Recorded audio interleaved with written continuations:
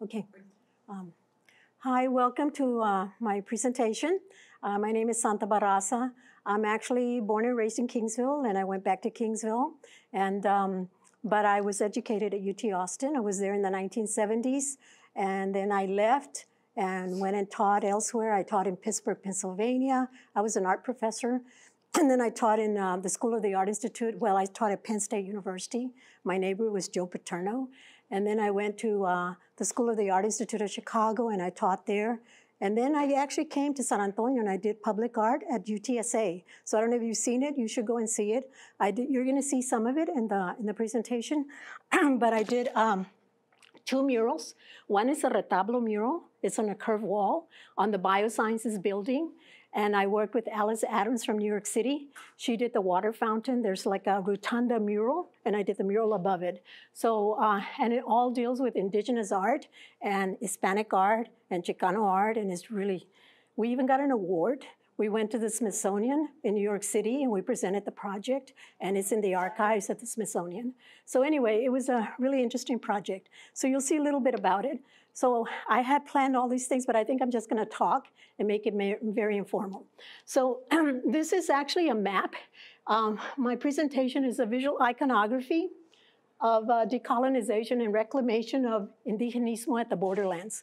So um, I was very much influenced by the land and the people and the culture. And so I always, and um, when I say the culture, I mean also curanderismo. You know, when I went to graduate school, we um, I was told by my professors I was doing murals. I was doing fiberglass murals. I was going to do a mural at the, I think it was called the Terrazas Library. Uh, we had a drawing and everything ready to do, and the professors told me uh, that I had to abandon my project. I was doing fiberglass murals, and they said you can't do murals because it's not really art. You have to do individual art. So I had to abandon it. So then I started doing what they told me to do. They told me, well, you can, you can, if you want to, you can fight us. You know, I had a committee of professors, and they said, well, you can fight us if you want to, but you're not going to win, and you won't get your degree. So the best thing is for you to to make a decision if you want to fight us or you want to graduate. So I decided, you know, I need that paper and I need to graduate. So I changed everything. So I never did the mural. But maybe later on we can do it. Yeah. But anyway, um, so at that point, I decided I felt like I'm not valid. I'm not really a valid person because I don't exist in the books. There was nothing about us at that time. Um, this was, I went there in the 1970s. I did my graduate work in 1979. So I thought, you know, we're not even valid, so I need to validate myself. So that's when I started doing research about who we were, like self-identifying myself instead of identifying myself through the dominant culture and Western ideology. So uh, by doing that, I had to do research. And of course, there were no books on us, nothing. So I started by looking at the culture and looking at my family and all the cuentos and stories in the family. And that's how I started to do my art. Um, Oh, that map, I want to tell you that map is really important because this map was done in 1792. And actually, it's a map that maps South Texas. It's called, uh, it's the Nuevo Santander map in 1792. And it uh, delineates the area from uh, Querétaro all the way up to the Nueces River. That was, um, that was Nuevo Santander and it has the names in that map. You should try to look at, look it up in the library. It has all the indigenous people that lived in those areas, and it has their names and it has the symbols, and it has the little casitas where they used to live and settlements. So it's a very beautiful map. So I started finding those things that were really very interesting to me because, of course, we're mestizos, we're hybrids, and so we're all part of that culture. Uh, so, I, so in order to do that, I had to decolonize myself because we were colonized by the dominant culture. To decolonize myself, like I said, I had to look not only at our immediate culture, but also ancient culture of Mexico and also contemporary Mexico and modern Mexico. So I started doing that, and I did some drawings based on um, like I, myself, and at that time I had my, my daughter was little, and I wanted to for her also to learn about that history. And so I, this is sort of like the grandmother talking to the child and telling her about her history and the cuentos in the story and the, in the family. And so, and that's my daughter in the middle. Uh, it was a pencil drawing. And then I also when I did my graduate work and I was told you can't do you can't do murals, you know, you have to do something that's individual. So I thought, okay, well, what do I do? And so um, at that time, um, I was already doing research on uh, the culture. And one of the dominant things in the culture is curanderismo. And I'm from Kingsville, and I always heard the stories of Don Pedro Jaramillo. So uh, a lot of beautiful stories. And so I thought, well, let me look into curanderismo. And it turns out that curanderismo is based on ancient history of Siberia. It's called uh, shamanism. So my thesis ended up being on shamanism. And one of the strong components of shamanism, according to the Huicholes, they actually dream the future. And in the dreams, they interpret that, how they're going to live their life. And so I started dreaming all these things because I was doing so much research. And a lot of the dreams would deal with the family and very interesting things. And one of the stories, and I didn't include it here, but one of the things that I did, I, I my sister started to get sick. Uh, let me go forward. My younger sister was a, was a student also UT Austin. She started to get mentally ill. And I would have these dreams about her, about how we were trying to heal her in these dreams.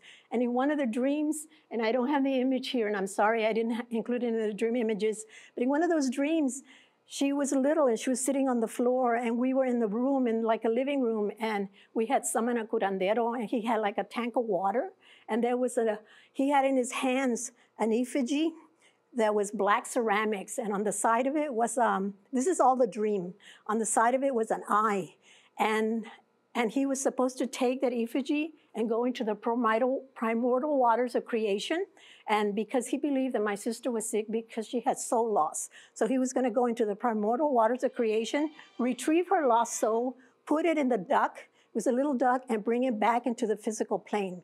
Years later, when I moved back to Kingsville, I was in a show called Aztlan, a mythic homeland that was organized by the Contemporary Museum in Los Angeles, and it traveled to Austin. And I went to Austin to see the show, and it was from prehistoric times into the present time, the colonial, the, the modern, and then the contemporary.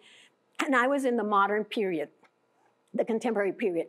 I took my students, because I was teaching at Texas A&M Kingsville, and as we go into the prehistoric period, they had all these ceramic things, and one of them was my little black duck with the eye on it, and it said shamanism, and it had the approximate date, and it said history unknown. But I dreamed it. So that's called collective memory.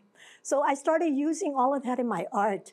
So, uh, so then I started looking at people of ancient Mexico and the goddesses. Like, for example, do we have, is this a pointer? I don't know, is this a pointer? Well, no. no see. So I can, uh, it, you don't have to click it. Oh, there, how do you do it? There's, it says pointing. Oh, okay. I don't know if you can move it around. No, I just want that one. It's called Coatlicue. That's the earth goddess. So I started working on Coatlicue, the earth goddess. The one above it is a I did a series of multicultural murals when I taught at Penn State, and all of my students came and we worked on like a series of 10 different murals. And one of them was that one. It was multicultural muralism or mural, and it was of uh, Emiliano Zapata in the ground, and it's like a codas, ancient books of Mexico underneath. And then you see on the on the right hand side, uh, Cortez coming in as a as a robot, as a metal soldier, destroying everything in his sight. And then next to him is the rain god, fertilizing the earth with amulets in his hands. And um, so we did this with, um, with students at Penn State. So I wanted you to see that. I also did the Malinche, which is that, um, well, uh, it just, it doesn't point. The Malinche is the one with the red background and the rodetete, I think it's called, around her head. And that's Cortez behind her. So I don't know if you know the story of Malinche. And there's a show that's opening here at the San Antonio Art Museum next month, and I'm in that show, and that piece is in the show. And it's, um, you should go, it's gonna be there until January. It was organized in Denver Art Museum. It went to the Albuquerque Art Museum, and it's gonna open on the 15th here in, in San Antonio of October in San Antonio, and it'll be there till January. And they're using it on, um, like when you buy the ticket to go in, it's going to be on this ticket. They're using posters, they're using banners of this particular image. So it's kind of an important piece. But what I did is, um, you see Hernan Cortez behind her. He's looking at her like a voyager, you know, like admiring her. But the point is, um, I don't know if you know the story, but when Cortes entered Veracruz in 1519, he fought the city that, um, that he entered. And of course, when he entered, he came in his ship and he came with horses. Horses were not native to Mexico or the Americas, the continent of the Americas. So he came as horses. They were wearing metal armors and they had swords and they had all kinds of um, gear, metal gear. And they come riding on the horses and go, go to the village. And they had dogs. And so um, the villagers, the indigenous people, had never seen a, a, an Hispanic um, white person. They've never seen horses. Um, and so they were mesmerized by it, and they thought that the rider on the horse and the horse was one entity, and they call it the double headed entity. So Orozco, the artist from Mexico at the turn of the 20th century, started painting horses with two heads. So my horses have two heads up there, you see it in the background. And of course, when they came in, they destroyed the culture and they destroyed the religion that they had. So you can see the missionary priest with a cross and the people hanging from the trees. So that's kind of like the blood of the land of Mexico. So that's what that's about. But then, I don't know if you're aware the story, is that when he conquered that village, the tradition in Mexico was, in ancient Mexico, was that you give gifts to the victor. And so the mayor of the city gave her 20 young maidens. And one of them was this woman. She was a teenager by the name of uh, Malinche. They called her Malinche, but later on her name was Doña Marina. Um, but she had been sold into slavery by her own parents. She was from the aristocrat. And she was from the Nahua tongue. You know, there were a lot of indigenous tongues. So she knew the Nahua tongue, and she had been sold to the Mayans. So she knew several dialects of the Mayans. The Spanish could not communicate with the, the indigenous because they didn't know the language. But she knew how to speak several indigenous languages. And then there was a uh, Geronimo Aguilar, who was one of the Hispanic soldiers who had come to the Americas before Hernan Cortes arrived, and he married a woman in the Mayan culture, so he knew the language, one of the Mayan dialects. So what they did is she would translate to, um, when they found out that she could do this, she became like this personal secretary of Cortes, and eventually they actually became romantically involved and they had a child by the name of Martin, who was raised as a Spaniard. Uh, but anyway, um, so that's Martin, or the, the birth of the hybrid. So she is the mother of mestizaje, or the mother of hybridization, or the mother of the biological blend. So that's what that's all about. And I use the Maguey plan as a symbol of resurrection and rebirth in my work. And the Maguey plan has, um, uh, if you ferment it, if you put a bottle in the center, um, in the campos in in Mexico, this white milk goes into it and a little worm. And if you ferment it, it becomes tequila. But if you don't ferment it, it's high in protein and they feed it to the babies because, you know, the, they're very poor. And so, um, so it has uh, nourishment. Also, um, and I'm going to talk about it, when the Virgen de Guadalupe appeared, she appeared on a tilma, the tilmas made from the fiber of the maguey. They would make clothing out of it. They would make food out of it. So it's like this self-sustaining plant. And so I use it as a symbol of resurrection and rebirth in my work. Um, um, so these are some of the things of ancient Mexico that I, that I did. Like for example, the, the image in the center is actually a ceramic uh, full-size figure that they found in um, Mexico City underneath the cathedral where they were be, uh, excavating and they found Coyolxauhqui, the moon goddess, in a disc. And they found other things and they found pyramids buried underneath the ground. And one of the things that they found is these young men, ceramic young boys that were wearing a baby on their back. It was symbol they were sun worshippers. So they worship uh, the sun god. And so at night, they believe that that, that, he would become a child and be reborn in the morning. So the priests of Quetzalcoatl, they were Quetzalcoatl worshippers, they would actually carry him on their back symbolically. And then in the morning, he would be reborn. And then the women, the Cihuateteos, the female warriors, will carry it until it's set again. So what I did is I did a female with a child in the back. And that's an oil painting.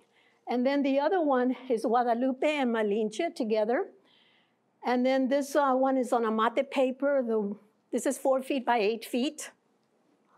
And this is um, Codas of the Danzantes. I received a, um, a grant from Lila Wallace in Reader's Digest in the early 1990s, and I went to Oaxaca, and I had a studio there, and I worked in Mexico, and so I became very enthused with. Um, what they were doing with the amate paper. And interestingly enough, you don't, the amate paper was a sacred paper to Montezuma. They would actually, you know, they, the Aztecs had control of all the tribes. And so what they would do is you would have to pay tribute to the, war, to the leaders, which were the Aztecs. And they would make this paper in San Andres. And they would pay tons and tons of tribute in this paper to Montezuma because it was a sacred paper. They would make their sacred books out of it. They would actually make effigies and deities and cut them out, and they would burn them and offer them to the gods. And interestingly, I discovered that the paper is made from a fig tree, the bark of a fig tree. And the fig tree, I don't know if you know this, in the Bible, it was a tree of life. So it was sacred. And how did the Aztecs know that? You know, it's very interesting, all of that. So anyway, and then the other image is Popo and Itza, the legend of Popo and Itza, but I sort of reversed it where the female is carrying the man. But Popo and Itza, right? Popo and Itza, the legend is that, uh, that they were lovers like uh, Romeo and Juliet, and they, uh, he went off to war, and he never came back. And so she later found out that he had died in the battle, and she get very distraught. Uh, that she went up to the mountain and she laid down, and uh, and she died from heart heart problems or heart broke. She was her heart was broken. He came back. He was alive, and he found her, and he carried her in his arm. And they said that he became a stone. So if you go to the mountains, which is uh, outside of um, Puebla, you'll see the Malinche Mountains and you'll see them like a man carrying this woman. So that's what it's called, Popo and Itza. So I did, it's a legend. So I went ahead and did some prints on that.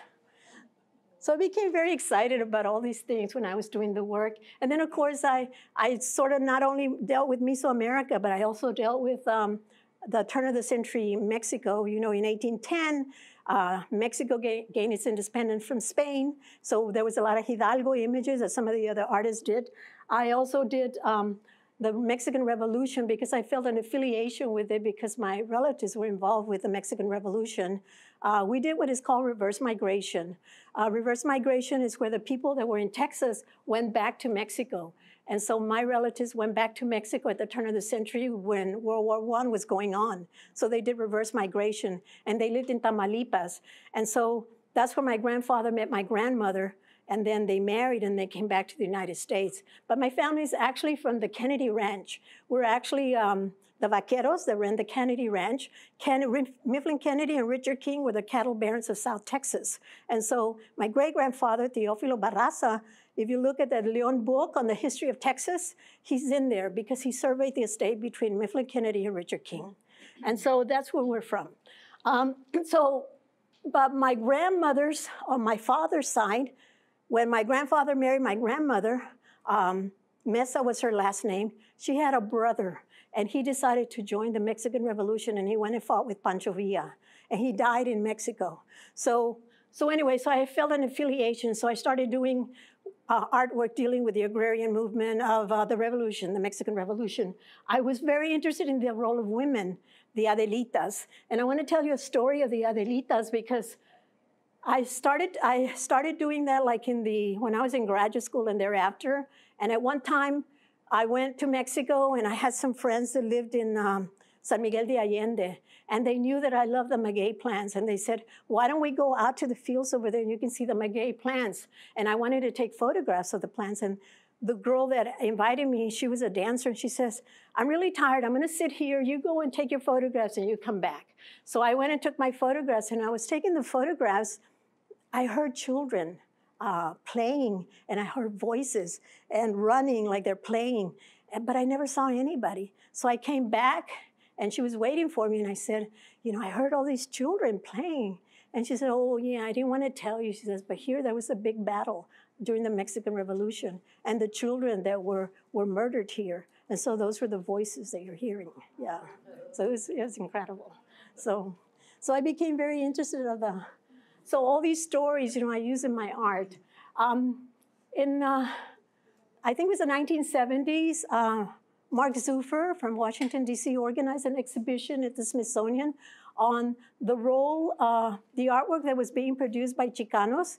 Um, dealing with the Mexican Revolution and the photographs of Victor Agustin Casasola. And I used a lot of his photographs in my art. I've used like the ones over there, the, the Adelitas and the little boy, and then I changed it and added other things to it.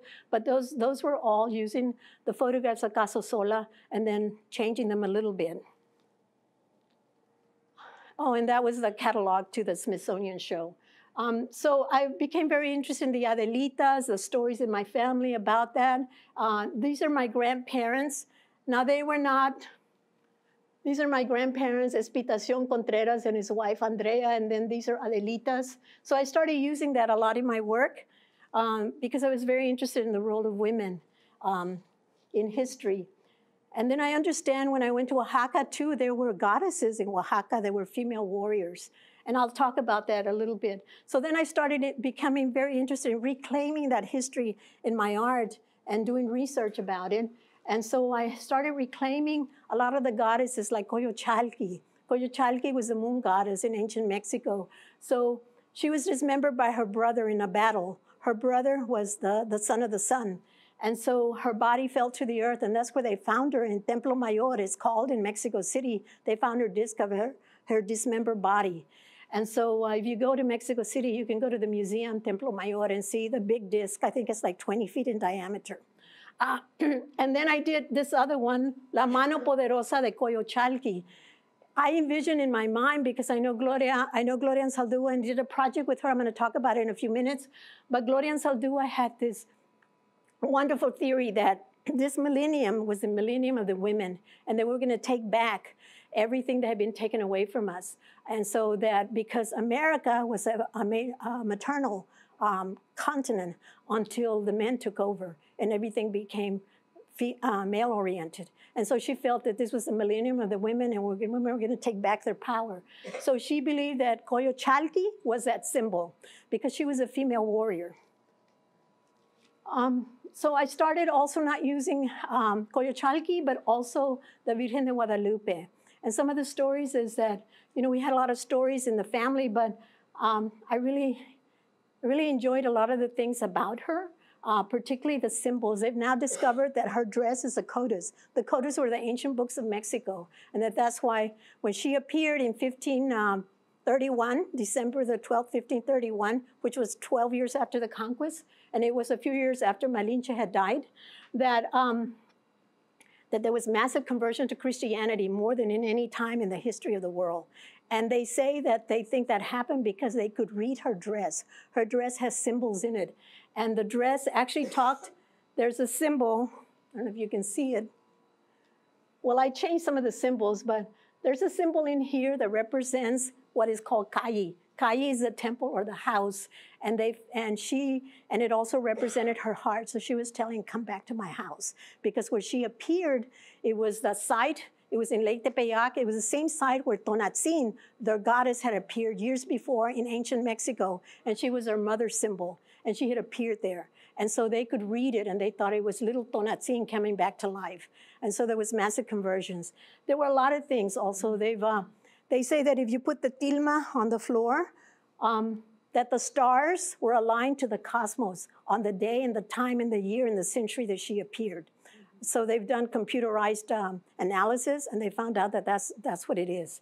And so I was very much enthused with, by that. And so I use her as a symbol of uh, empowerment, not as a submissive symbol, but as a symbol of empowerment for women.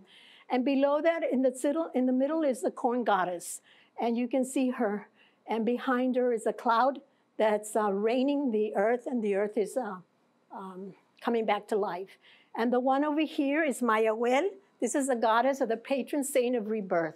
So there's a very interesting story about her, and I actually heard it firsthand from the people in Oaxaca. And they told me, well, you know, Mayahuel was a little girl. They have these stories, beautiful stories, that Mayahuel was a beautiful little princess and that she was she was a young woman, and one of the gods fell in love with her and wanted to possess her, but she denied him. And so he got really angry and he came down from the heavens and he dismembered her. And he cut her head and he threw her head in a field, and from the head grew the maguey plant. And so the maguey plant became the symbol of rebirth. So that women, when they died in childbirth, the cihuateteos when they died in childbirth, their soul became a soul of, um, of the warriors. They went because they believed there were 13 levels in the heavens. And the, the male warriors, when they died in battle, their soul will go to the, I think it was the 10th or the 11th uh, level. And the females, when they died in childbirth, they also would go to that same level. And so they were the ones that would carry the baby on their back when it was being reborn. And then the men would take it in, in the, at night. So it's a really interesting story.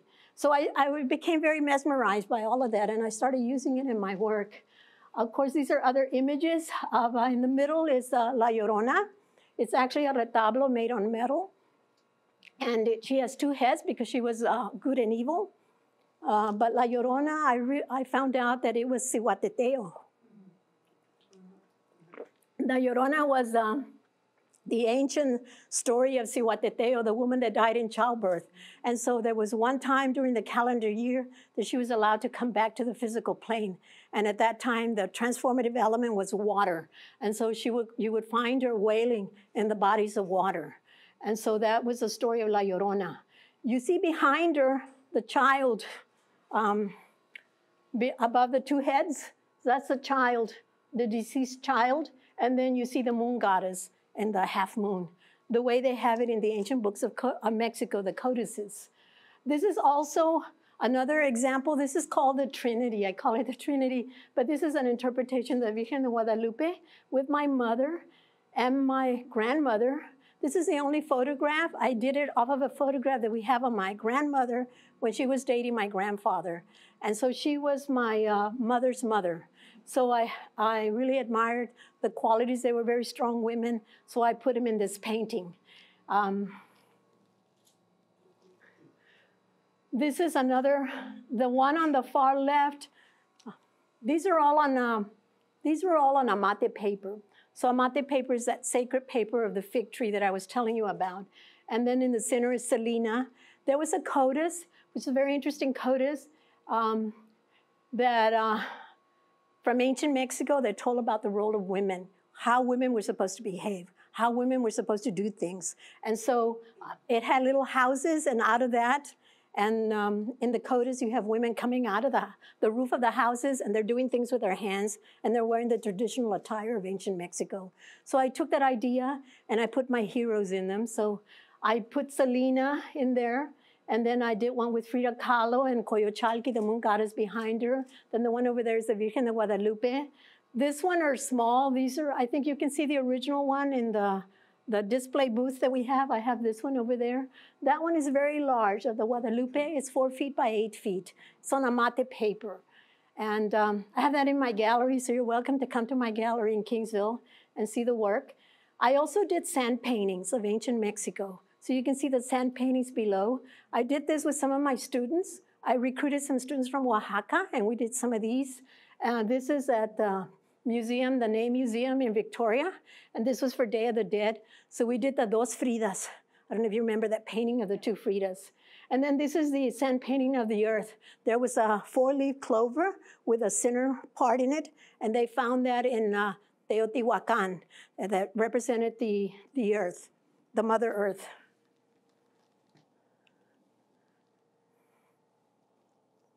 Is that it? I don't think it goes any further. Can someone tell me that's the last one? I don't think it's the last one. It's stuck. It- Yeah, it's, it says it goes to twenty-five. Yeah, because you have Oh, this. oh, You're good. Is that it? Okay. Can you use this? The Yeah, that's what I was using. And then you can also use this to point at them. Oh, okay, Just with your great. finger. Oh, okay. All right. So then um, I'm going to show you some artwork of the Borderlands. And um, these are um, Emma Tenayuca. You probably know who she is. She's from San Antonio. So you can see her over there with the moon goddess. Um, um, I see her as a female warrior. And then you can see her over here too, the Codice of Emma Tenayuca. And you can see the women they, when they went on strike in the pecan shell uh, business. And you can see them in the background behind her uh, doing the peeling the pecans. And then below that on the far left, that this is uh, Rigoberta Menchú. Well, I can't do it. and um, and I got to meet Rigoberta Menchú in Chicago.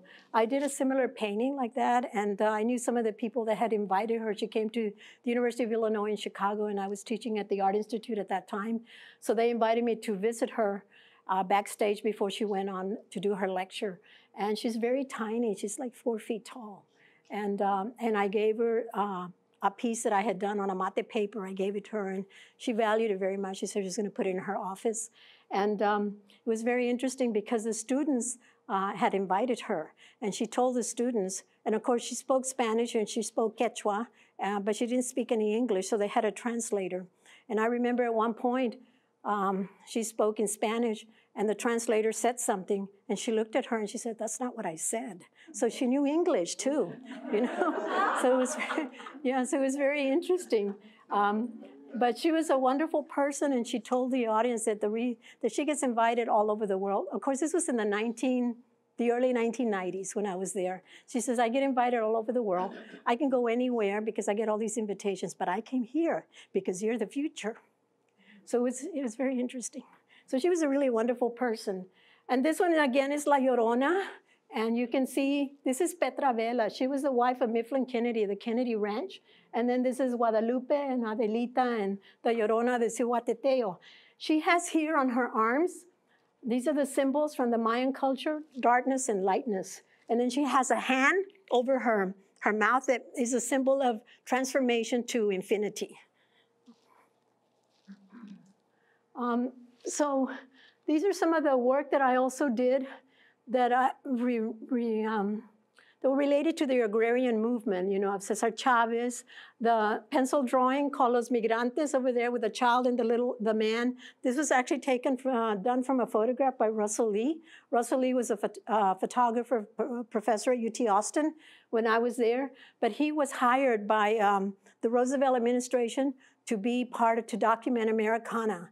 Uh, they went all they hired muralists, they hired artists, writers. They went all over the United States and documented the culture of the United States. He went to California and he went to the migrant camps that they had under the Bracero program. And he documented the families in the tents, living in the tents. And this is a photograph from that. So that was Russell Lee. He was a very wonderful person. Um, uh, of course, they're all gone now, but um, he, in, in his paintings, in his photographs, if you ever look at, he has books out on his work and you should look at it. He always has like a symbol of a pyramid in the center, light in the pyramid. And I think a lot of it had to do, in my estimation, is because he was uh, actually an orphan. He was adopted, so he never knew his real family. So he was always trying, he was always looking for a family, always. So you can see it in his photographs. And this is a pencil drawing that I did of a black mother and her child. This was done in 1975. Um, and then this is Nepantla. This was a uh, painting I did when I worked with Gloria Anzaldúa in that project of Nepantla, and I'm going to talk about it in a few minutes. And the other one actually belongs to the Texas Tech, the Museum of Texas Tech University. Uh, it's a huge painting. It's of my mother as she was a young woman, and then the Virgen de Guadalupe behind her with her parents, and then La Catrina.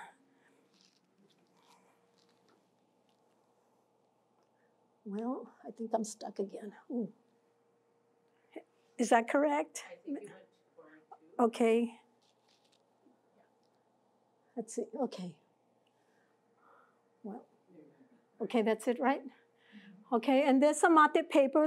That's my mother again, coming out of the house with the tree of life from the Mayan culture behind her. And then Don Pedro Jaramillo, that's a retablo in metal. And then myself is uh, Canuta. Canuta was my great grandmother, my grandfather's mother. And she was victimized by Richard King uh, because they had land in South Texas. And so they were persecuting people and trying to buy the land for like a bag of gold. And they would go to your ranch and offer you the money to, to buy your land. And of course, you've been there for generations, you didn't want to sell it. And they would force you at gunpoint. They had their pistoleros. And they would say, well, you're gonna you're gonna sign and you're gonna sell the land. And so they would do that and they would give them the bag of gold and they said you have to leave tonight. So when they would leave at night they would ambush them take the same bag of gold and go to another rancho. So that was the that was some of the folklore uh, stories. And then my my relatives were part of that that victimization. So this is, I have a photograph of um, Canuta Vela, who's my grandfather's mother, and she's standing, and she was a very proud woman. Um, her, her husband was murdered by Richard King or the Pistoleros, and so I have her, I sort of put myself in her dress, wearing with a skull in my hand and the dead people in the background. And this is um, some of the first books that were actually printed on Chicano art, the Chicano Voices by Carlota Dwyer. They used some of my work in it. Also, Inez Hernandez published this book recently. Then Shifra Goldman, The Tradition and Transformation, Chicano Art. And then my book. Um, so there was a lot of books at that time. This one, this is the only copy I have, and it's really destroyed. But you can see Embra. This was done by Inez at UT Austin in the I think it was the ethnic studies program. And that's some of my work that was in the book. And the cover was actually designed by Carmen Lomas Garza. And I believe it was 1976. And then we did, um, I was part of Los Quemados, our group that actually organized itself here in San Antonio and Austin. And there were very few women in the organization. Amado Peña was a member, Jose Trevino, um, Chente Rodriguez, um, Cesar Martinez, myself, Carolina Flores, and Carmen Lomas Garza. And we decided um, the women wanted more women in there, and for some reason, it didn't happen. So then we decided, well, we're going to go ahead and just form our own group. So we formed MAS, Mujeres Artistas del Suroeste, in 1975, and we were active for a decade. And Nora Gonzalez Dotson uh, co founded it with myself. And so these are some of the projects that we did. And this was an article, these are some of the members. Um, of the group, and that essay was written by Dr. Shifra Goldman, who's not with us anymore, but she um, wrote an essay on MAS, and it was published in Los Angeles. We did a very important project that I thought was very important. It was the first encounter between the Chicanos and the Mexicano artists. And so we invited artists from Mexico City to come to Austin. We held it in Austin in 1979 called Conferencia Plástica Chicana. And that was the first time that we knew who the artists, the real artists were in Mexico and the scholars. And, and artists, Chicano artists came from all over the United States to that conference. And we had it like for three days. And we also brought students from San Carlos Academy of Art. We brought about 10, 20 students that came to the conference. So it was a very important conference. And then after that, we started to have more conferences and exhibitions in Mexico. Until that point, we didn't have any. But we, st- we did A Través de la Frontera, I think in 1981, that was sponsored by Presidente Echeverria. And then we did um, another one called Carteles Chicanos, which was in Mexico City too. And then I was in a show called Art of the Other Mexico that started in Chicago and it went to the Museum of Modern Art in Mexico City. So since then, there's been a lot of exhibitions um, but that was uh, some of the projects that we did. Uh, these are, in 1995, I was invited with uh, by Gloria Anzaldúa to participate in this project called Nepantla. And it was, uh, Nepantla is an indigenous word for a collision between two opposing cultures, and then a third one emerges. And Gloria felt that it was a hybridization. It could be related to gender. It could be related to a lot of things. And so the people that were selected is Liliana Wilson from Austin, Texas, myself, and at that time, I was living in Chicago. And then uh, Tina Guerra, she's from Mexico City. And then uh, Isabel Juarez, she was from Chiapas. She was a writer. And then Gloria Anzaldúa. We lived together in Saratoga, California for six weeks, and we worked on this whole concept. The writers wrote, and then we produced art. And these are some of the pieces that I produced for that in that project. We were together for six weeks, and I remember Gloria told me, "Okay, you're gonna you organize the women's. I put you in charge of the women artists." And so we had a meeting, and I told them, "Okay, we have six weeks, so we got to produce 20 pieces." And they said, What? I said, Yeah, 20 pieces. And they said, Well, so they hated me. So Liliana, Liliana and Tina would not speak to me. The whole time they never spoke to me. But afterwards, they were so excited because Liliana was able to produce 20 pieces. And she said, I've never been forced to do it, but I did it.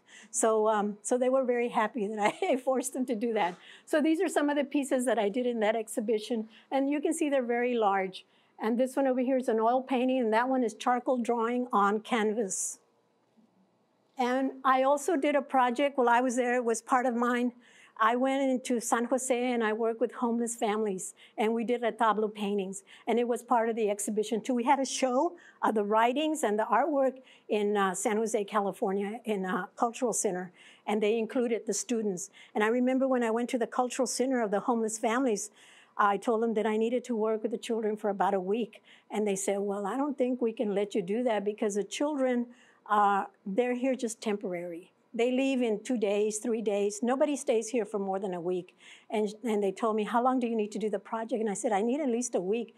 They said, Well, they're not going to produce the work. And I don't think, but you can do it if you want to, but we just want to let you know. So I said, Okay, I'll work with that. So I worked with them and they were so excited and they actually did the work and the parents got really excited too and they produced some art too. So they were like dumbfounded that the kids were able to do that. So it was part of the exhibition too. So I was very interested in including the community. These are some of the pieces of the public art. This is actually a UTSA, like I was telling you, at the Biosciences building. This is a retablo mural, and it's on a curved wall. It weighs like two tons. We had to like use, we had to tear the wall because they were building the building. So we worked with Henry Munoz and Kell, the architects, and they designed the building and we did the public art. And that's my mural over there, and then there's the water fountain underneath and I did those at UTSA. And then I did the mural of Madre Julia Navarrete in Kingsville. She is uh, being canonized as a saint. Um, there's very, I, when they told me to do that mural, I said, well, it's going to be very difficult because I don't know who she is. And they said, okay, well, here are the books, you read them. So I read the books on, uh, it was incredible, incredible, incredible book. She was originally from Oaxaca. She left Oaxaca and came to Kingsville and set up a school for the Mexican kids. And they had, um, and also the order. She actually uh, founded that order of the nuns. I think it's called the Congregation of the Most Purest Virgin Mary or something like that. And um, when I started reading the book, it was an incredible book because it, it uh, in Oaxaca at that time, we're talking about the turn of the century, like the, the late 18, 19, what was it, 1890s. She, um, they had like personal advisors in the religion. So the families, I think that the well-to-do had these personal advisors, and they would advise the family as to what the children should do in religion. And what her priest told her is that she wasn't uh, that focused, and that she needed to be more focused on religion. So he recommended that they build a cross, and that she get up on the cross, and that she would do that for a certain number of days. So she started doing that and she would stay in the cross position for like i think like 40 minutes or an hour. And then after that she would come down from the cross and she would pass out. And she would have these visions. And so at that point she decided that she wanted to be a nun. But can you imagine that? I mean that's what she did. And towards the end of her life and um, when she died one of the nuns um, who actually hired me to do the, the mural was her personal assistant until she died. And um, she was uh, telling me that that she had cancer towards the end of her life and she had like sores all over her back but she wanted to suffer. So she would pray to god to give her more pain to give her more pain. I mean can you imagine? It was she was very strong. So anyway so i did that mural of uh, madre julia navarrete it's on richard street where the mexican kids see we were not allowed to go and shop where the white people went. So that was in downtown Kleberg those where the shopping stores were. We had to build our own communities, which was on Richard Street, and that's where we shopped, and that's where they had the school. And it has been restored, so this is part of the restoration. And now they have the, the chapel where they where the nuns lived or where they prayed, and they have also a school. It used to be, but now it's like a museum. So if you go there, you should go see it. It's on Richard Street. Yeah, in, in Kingsville. Kingsville, Texas. And so these are some of the other murals that I did. I did this in um, um, St. Anthony's Church. It was on wood, and um, it was like three stories high. And what they asked me to do is they said, "Well, we have um, we have uh, an image of the Virgin that this man donated to us, but it needs to be repaired. It was very old. It was falling apart. So I said, okay, I'll do it so I did it with some of my students and a local artist by the name of Daniel, Daniel Cuellar. He's a very talented artist from Kingsville. And um, so we re-prepared the, the wood and we actually painted it. And then uh, I found out years later And I told them, you need to varnish it because it's in bad repair, and it needs repairs, you need to seal it, so you need to varnish it. Well, they never varnished it, so it got better, worse and worse, and it deteriorated, and finally it was no good. And so they threw it away without telling me. They took it down and they hired somebody else to do it. We did it free, you know, and they got somebody else to do it, and they did another one, and I have no idea what happened to this. I guess they threw it away. And I was kind of distraught. This one was a really interesting project. Every year I do something to commemorate the Virgen de Guadalupe, and that year we decided to go to Richard Street and we closed off the street. We got permission from the city to close off the street where the Mexican stores used to be. They're no longer there. They're all abandoned. They're falling apart. So we took the street and we did a chalk drawing of the Virgen de Guadalupe, full size. And, um, and so I got my students to work on it. And what was really, in, we did it in one day. And so I remember that um, the, the people started coming and we blocked off the street, but then um, it started to rain. And so after the, they, they took the blocks off after two days, and people would come on the street and they would see the image and they would turn around and they wouldn't drive over it. They were afraid to drive over it. And then they thought people started coming from Corpus Christi and surrounding towns because they thought the image had appeared there. And they started bringing roses and they started bringing things. Yeah. So it was very exciting. Um, and then the other one, as you can see, this is, I did it on a cement slab in Kingsville. You can see that's Daniel Cuellar. You see him? He looks like an ant. That's how big it is. You see him? So this photograph, I think, was taken from an airplane because they couldn't photograph it. And this is the face of this image of the Virgen. So.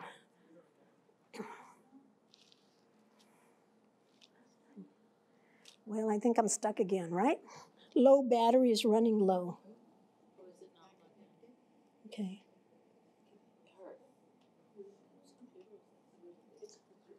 Do you have a cord? Why? When our computer, the battery is running. It won't, it won't go further. in my computer? Yeah. Or maybe you can advance it. Can I still work on it?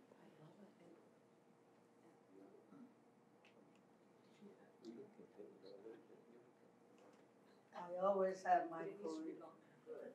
There's one more. Is that the last one? Uh-huh. Okay. I think we can we can survive. Okay, and this is some of the other paintings that I did. This is a mural also. This is like nine feet by 12 feet. It's on canvas. And again, it's called El Poder de las Mujeres. And then this is actually a retablo mural. My sister had, my sister since then has died, but when she was a young woman, uh, she actually uh, uh, joined an order called the, Char- the Pink Nuns, Daughters of Charity, and she became a cloister nun. So they would pray all day, and I actually did, I had dreams of that, and I didn't realize it was that. But I remember going to visit her. They had a, an order in Austin. They had one in Corpus Christi. They had one in Chicago, and I think one in Philadelphia.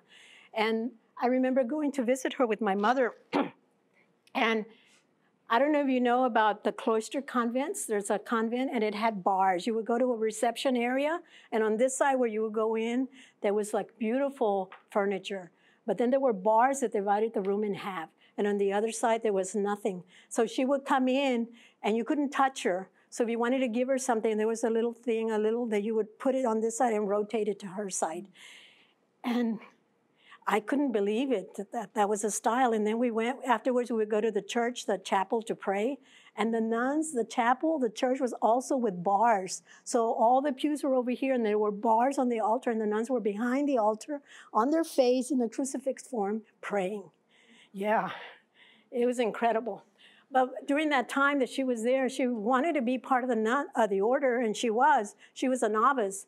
But what happened is she had heart problems, and so she needed open heart surgery. So she, they sent her back to Austin because she was in Philadelphia at that time. They sent her back to Austin, and they, she had open heart surgery, and it was in the 1970s. So it was very rudimental, you know, very kind of barbaric the way they did it.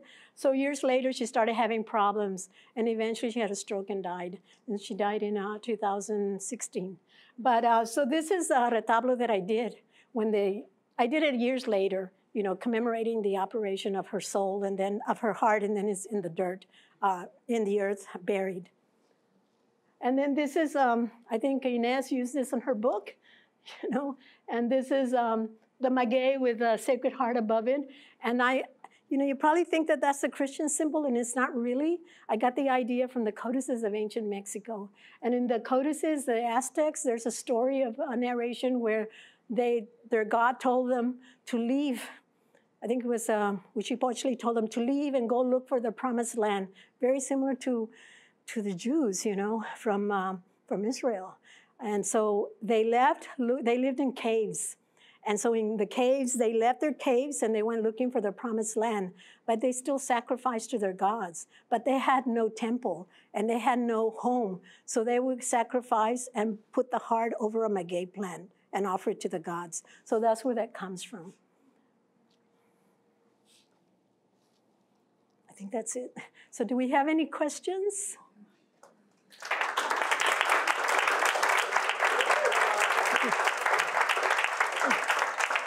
Yes. Again, I want to thank Santa Barraza on behalf of Unida Conference Executive Committee. We are eternally grateful for uh, having her presence here. I know that I was a big conduit in that, and I'm very eternally very persistent. Yes, to Santa for her extensive patience and cooperation with us. And again, let us give her a bit, another big hand, and you're welcome to ask questions. So yes. I don't have a question. I'm from Kingsville. I didn't know half of what you were talking about. Uh-huh. Okay, but I left when I was twenty-one. That's a long. Well, I left Kingsville when I was 18 to come to college or 17. So I'm gonna go home and look for this stuff. Yeah. Oh yeah, I mean it's it's incredible. You know, we all, we and I said in my books, I published a book in 2001 and it got the Southwest Book Award. Um, and I don't know if you're familiar, those of you that are artists, I mean writers, when you produce a manuscript to a company, a publisher, they ask you for, they send it out to readers, and readers read it and they say, this is good for to be published, or no, it's no good, or yes, we recommend it, but you have to add this, or you have to add that, or you have to take this, or you have to edit this or that. And what the all of the readers said with my book was that uh, because they asked me to do an autobiography of my work, and so one of the essays is autobiography, and they said that the best part of the book was my autobiography, which was because I talk about Kingsville and the land and the people. Yeah. yeah. So I went back home. So in my book, I say I left Kingsville looking for my destiny, but all the time it was in my backyard. And it's very interesting. Another one I want to say is that I get calls from people all over the world. And one of them was a woman who's doing a book on Mas. She's doing her dissertation on Mas. She's from Edinburgh. She's studying us in London. Can you believe that? And I said, What happened? You know, we're, you should have stayed home when we weren't here, you know? So she went to New York City and got her master's, and now she's doing her PhD. She went to Columbia, now she's doing her PhD in London. Can you believe that? And then we get called, well, I get calls from Germany and France. I had a show in Paris and in Germany and Aust- Vienna. So it's, it's, been, it's been really nice. Yes, I think she had a question no, first. Mine, mine is real simple. You're, you mentioned the San Antonio Museum of Art. Is that show going to be just your work? no.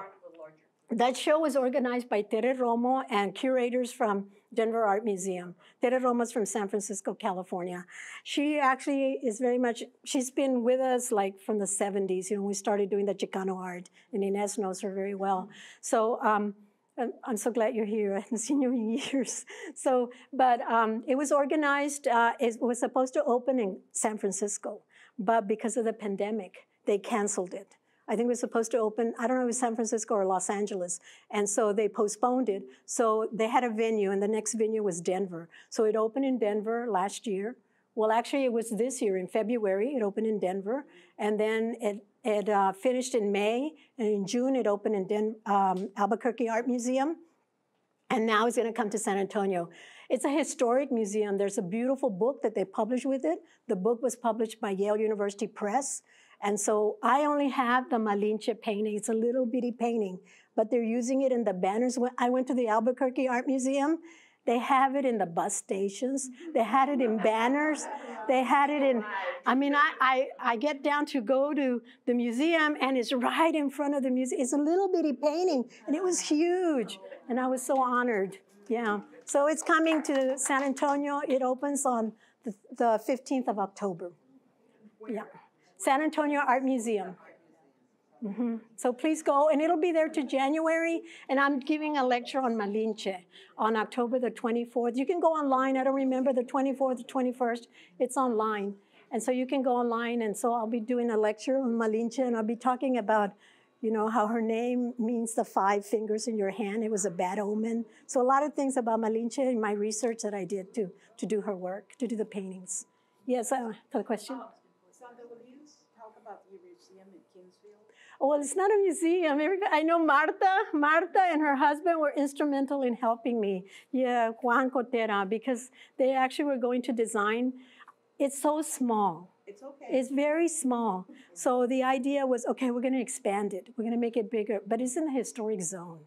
So there's so many rules and regulations, and so I had all these rules and regulations, and to the point that I said I can't do it, you know. And then they said, then they approved a design that I come up with, and they said, well, where's your parking lot? You need a parking lot of 20 cars. You need a parking lot of 20 cars.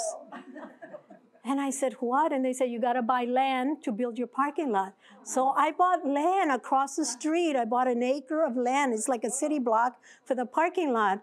And then I had to, then this the other man uh, that was going to do the remodeling said, Well, you know, because I decided, Well, I'm just going to remodel, you know? And then he says, Well, don't remodel. Nobody wanted to work on it. None of the people, they said, tear down the building. And I said, I can't tear it down. It's historic. You got to tear it down, start all over. So nobody would work with me. And finally, I got this one man that said, okay, I'll work with you. And then he says, since you own this land, just build something over here. So I actually designed, we came up with a Mayan Labna architecture. It was a beautiful building, but it was almost like a million dollars to do it. So I said, I can't do it. So we went back to the little house and we restored it. So that's, and I have a little parking lot in the back. So, yes. I was just gonna say that I enjoyed working with you, but we started on that. What, what came of that was that I realized very quickly it was gonna be almost impossible for us, a firm out of Boston to try Yeah. deal with the city. Oh, it was They were just terrible. not gonna let us do anything, and, and so, you know, I think we decided you needed to have somebody that would. Yeah, and I know we worked with one of your assistants, I think, and he was very nice. And the thing is that there were so many rules and regulations. Like even now, I'm trying. My sister just moved back from New York to Kingsville, and she lives in a historic zone. And she says, you know, Santa, just sell your house because I live out in the country. Sell your house and buy something close to the gallery, or build something close to the gallery, so you can just walk to the gallery. So I said, great. So I bought two lots, right, to build something or to move something there because I, I have several. I have two houses where I live. So I, and one of them is my mother's old house. So I said, I'll move my mother's old house and live here. Well, guess what? They said you have to have a structural engineer, you have to have an architect, you have, and I said I, I can't do it. You know, it's like you can't win, and they don't give you any funds, they don't have any loans. You have to do it all out of your pocket, which is crazy. But you were asking, so so she told me, oh, how is your institute? It's going to be your institute, and I said it's not an art institute. It's just a little building. Yeah.